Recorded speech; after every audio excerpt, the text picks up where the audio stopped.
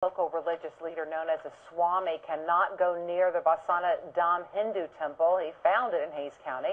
That's what a judge in Hays County decided in a hearing this afternoon. 79-year-old Prakashanand Saraswati is accused of groping two girls between 1993 and 1996.